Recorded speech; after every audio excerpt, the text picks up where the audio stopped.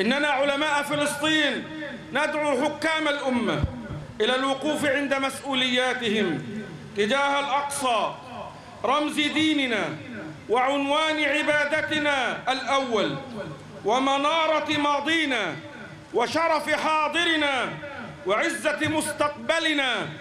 فلا خير فينا إن صمتنا ولا نجاة لنا من عقاب ربنا العاجل والآجل.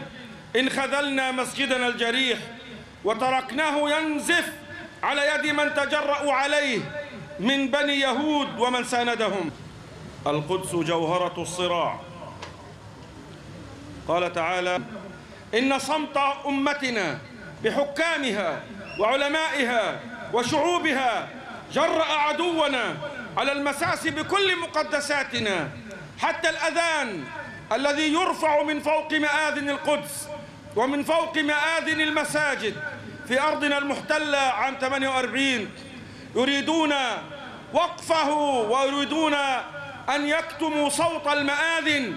هذا هو عدونا الذي يؤيده الأمين العام الجديد للأمم المتحدة. إن وإنهم إلا يخرصون. يطالعنا في هذه الأيام الذي جاء به الاستعمار الجديد.